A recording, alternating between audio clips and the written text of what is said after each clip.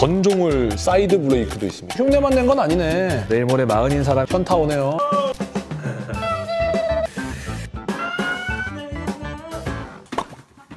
오늘 레고 리뷰 해볼 건데요. 요즘 레고 시장에서 가장 좀 핫한 인싸템 이름하여 스피드 챔피언 되겠습니다. 그냥 스피드 챔피언 아니고요. 스피드 챔피언 전종 되겠습니다.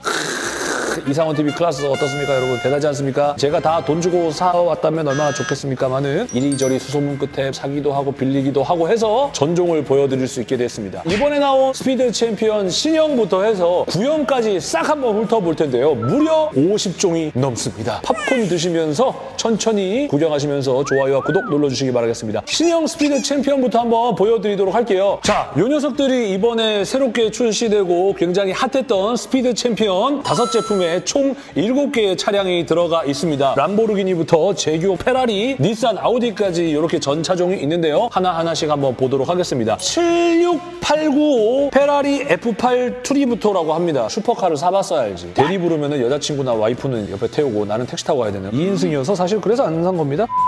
페라리 차량 비율이 좋죠. 신형 스피드 챔피언이 가장 많이 바뀐 부분이 옆으로 넓어진 8stud를 채용을 하고 있습니다. 기존의 스피드 챔피언은 6stud였어요. 보여드리자면 이렇게 생겼습니다. 딱 봤을 때는 요거는 레고 보통 city car스럽고 요거는 디테일한 부분을 축소한 듯한 비율을 좀 가지고 있죠. 사실 얘도 뭐 디테일하진 않아요. 좀 바뀐 부분이라면 은 사이드 미러가 달려있고 가장 큰 바뀐 부분은 혼자 타는 그런 자동차였다면 2인승 무려 2명이 탈 수 있다라는 자동차스럽게 변했다. 보통은 레고의 자동차들은 대부분 이제 1인용이잖아요. 그래서 요거 제가 하나 가져와 봤는데 60200의 시티 캐피탈이라는 건물의 일부분을 떼왔습니다. 요거 보시면은 구형 스피드 챔피언과 크게 다를 바가 없는 요 녀석은 이렇게 두기에 이질감이 없지 않습니까? 그런데 요 녀석이 만약에 여기 왔다. 좀 크죠? 아, 좀 크잖아. 미니 정기선 요만합니다. 보통 자동차 사이즈는 요 정도. 여기서 8stud의 스피드 챔피언은 요 정도 크기다. 달리 말하면 스피드 챔피언 신형 7종은 새로운 스케일을 좀 구축을 했다. 그 말인 즉슨 기존의 자동차들과는 어울리지 않는다. 이런 말씀을 좀 드려봅니다. 새로 출시된 부품이에요. 저도 태어나 처음 봤습니다. 바퀴를 넣어주는 이 부분도 원래 4칸짜리잖아요. 4칸짜리가 이렇게 들어가는 구조로 구형 스피드 챔피언이 만들어졌다면 신형 스피드 챔피언은 6칸짜리가 돼서 이런 식으로 만들어지는 겁니다. 페라리 F8이 스피드 챔피언 신형 중에는 가장 인기가 많고 구하기가 힘들어서 매장 같은 데 가면 한 사람당 한 개씩밖에 못 사게 한다는 그런 진풍경이 벌어진다고도 하는데 저도 요 녀석은 빌려왔습니다. 나는 못 구했습니다. 페라리 마크부터 해서 이렇게 번호판까지 표현이 되어 있고요. 아까 잠깐 보여드렸었는데 뚜껑이 이렇게 열리고 문은 열리지 않습니다. 이런 부분들은 좀 아쉬워요. 레고가 보통은 열리게 만들어주고 열었다 닫았다 하고 막 그랬었는데 그런 부분들은 많이 생략이 돼 있고 대신에 조형은 굉장히 사실적으로 만들어준 느낌이 있습니다. 다음 보여드릴 녀석은 아우디입니다. 스포츠 콰트로 S1이에요. 1985라고 써있는 거 보니까 1985년에 나왔던 랠리카로 추정이 됩니다. 실제 차는 이렇게 생겼네요. 실제 차를 비교를 해보니까 범퍼부터 해서 비슷한 느낌이 좀 있습니다. 랠리카여서 헤드라이트가 6개가 달려있고 요거는 이렇게 뗄 수도 있게 되어 있어요. 떼면은 이렇게 그냥 공도를 달릴 수 있는 느낌. 스티커 작업을 조금 많이 해야 된다는 부담감은 있지만 또 열어봤을 때 시트까지 되어 있네요. stud가 다섯 칸이 있어야 가운데에 피규어들이 팔을 넣을 수가 있어요. 오 stud다 보니까 운전대가 정확하게 한가운데 있지 않고 안쪽으로 좀 쏠려 있습니다. 랠리카나 슈퍼카들은 보통 더블 머플러나 돼 있을 텐데 어, 머플러가 딸랑 하나네요. 나름의 특징, 문이 안 열립니다. rear wing 안 움직입니다. 아우디 팀이라고 써 있고요. 스티커로 다 도배가 되어 있는데 이 앞에 본네트 이 부분은 프린트입니다. 특수 brick이라고 하죠. 이 특수 brick이 페라리에도 요거는 스티커가 아니고 printing입니다. 근데 이 뒤에는 스티커다. 스티커와 printing의 절묘한 조합. 보시면은 색깔이 좀 다르죠? 페라리를 보고 이걸 봤더니 어, 살짝 느낌이 요거를 먼저 봤으면 아우 예쁘다 했을 텐데 1985년도 옛날 올드 랠리카니까 그렇게 생각을 하시면 되겠습니다. 7종 중에서도 가장 예쁘지 않다. 현재 2등. 다음은요.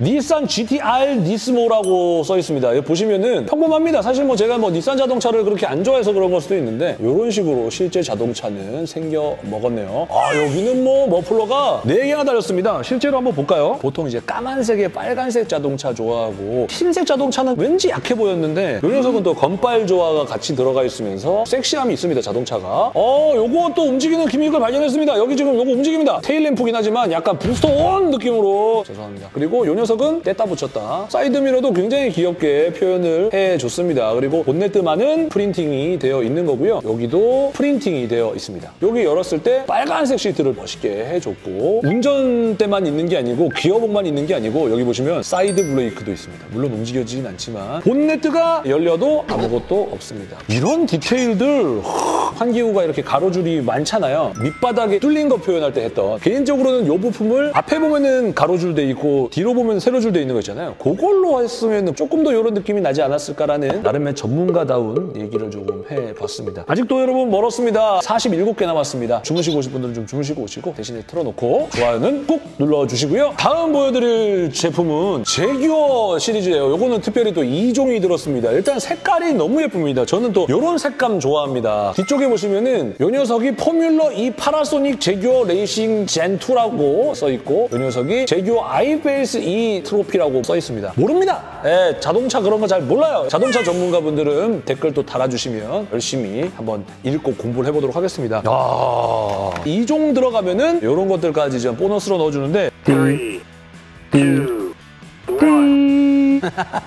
내일 모레 마흔인 사람이 움직이면 좀 그렇지만 자녀 가지신 분들은 애기들이랑 또 같이 이렇게 자동차들 또 굴리면 또 재밌지 않겠습니까? 현타 오네요, 이거는.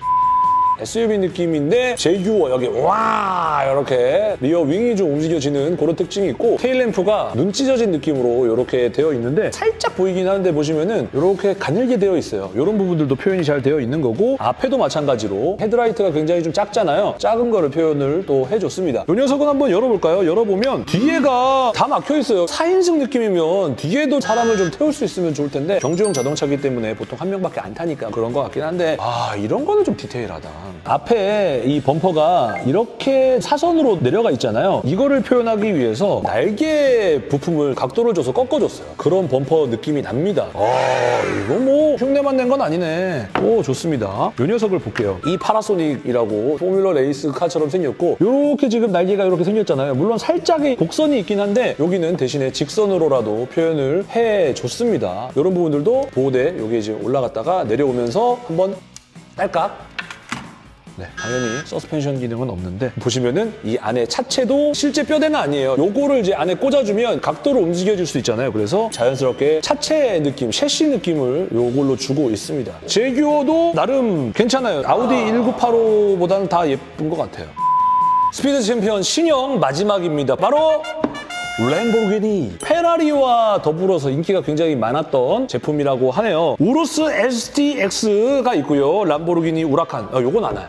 요건 알아. 내가 옛날에 살라고 했는데 트렁크가 좁아서 안 샀던 그런 기억이 있습니다. 요 녀석이랑 요 녀석 그리고 2종이 들어가면 어떻게 돼요? 얘를 보너스로 준다. 재규어 거는 이렇게 지금 되잖아요. 준비 띠띠띠 이렇게 파란불로 바뀌면 왕 갈 수 있는 비슷하지만 다른 gimmick으로 표현을 해줬습니다. 어, 훌륭합니다. 앞에 범퍼가 조금 사선으로 굉장히 좀 작게 들어가 있는 거는 부품으로 표현을 못했기 때문에 스티커를 발랐다. 가운데에 더블 머플러가 되어 있고 이 녀석들도 움직여지게 되어 있습니다. 여기 보시면 가운데 이게 날개 하나 쫙 올라가 있잖아요. 그게 그대로 있습니다. 이런 부분들도 사실 움직이긴 하는데 이거는 움직인다기보다는 그냥 각도 조절을 해주는 것 같아요. 이렇게 위로 열어봤을 때는 어? 가운데 이렇게 지금 뭐 있는 거 자동차 가운데 뭐 있는 거 아니겠지? 사이드 미러도 금색으로 되어 있는데 실제로 보면 굉장히 고급스럽습니다. 좀 멋있고 이탈리아 감성이 좀 이렇게 묻어있는 국기 색깔 이탈리아 아니면 웃기겠다. 람보르기니가 어디 거지?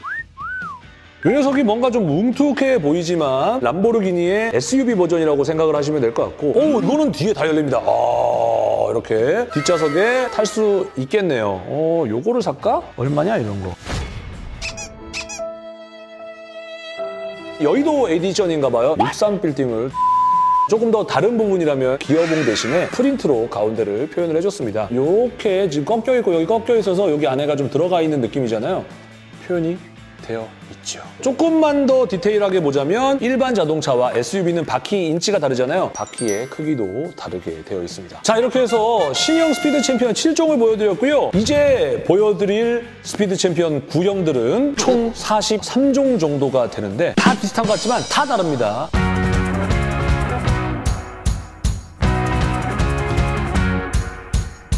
구형 스피드 챔피언도 궁금해하실 것 같아서 전종을 준비를 했습니다. 하나하나 일일이 설명드리기에는 밤새야 되니까 클로즈업에서 자세히 하나씩 보여드릴 테니까 여러분 끝까지 놓치지 마시고 채널 고정하세요. 그럼 다음 시간에 다시 오겠습니다. 여러분 안녕히 계세요. 구독, 좋아요 눌러요.